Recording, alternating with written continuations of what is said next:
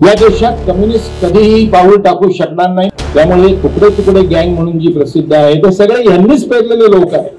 आणि शिवसेना पुन्हा एकत्र आले. जागी पेरले गेलेले विविध क्षेत्रात विविध राजकीय पक्षात. त्यांचे हे उद्योग आहे की ही एक संघटना काळ ती एक संघटना काळ.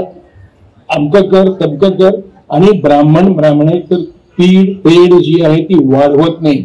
ब्राह्मण मराठा समाजामध्ये तेढ वाढव. ब्राह्मण आणि दलितांमध्ये तेढ वाढव. ब्राह्मण आणि मुस्लिमांमध्ये तेढ वाढव. Do you want to bring communism in this country या देशात कम्युनिस्ट कधीही पाऊल टाकू शकणार नाहीत. वल्लभभाई पटेल यांनी केव्हा चिरडलं त्यांना? तेव्हापासून कम्युनिस्ट लोकांनी हा एक पण घेतलेला आहे. या देशाचे तुकडेच करून दाखवायचे. त्यामुळे तुकडे तुकडे गँग म्हणून जी प्रसिद्ध आहे ते सगळे यांनीच पेरलेले लोक आहेत. आणि म्हणून सत्तर वर्षात जे झालं नाही ते मोदींनी केलं. मोदी ज्या वेळेला पक्षाचं काम करतात तेव्हा मी त्यांना त्याबद्दल काही म्हणत नाही त्याबद्दल मी त्यांना काही बोलत नाही त्यांना दोष देत नाही. पक्षाचे काम सगळेच करतात.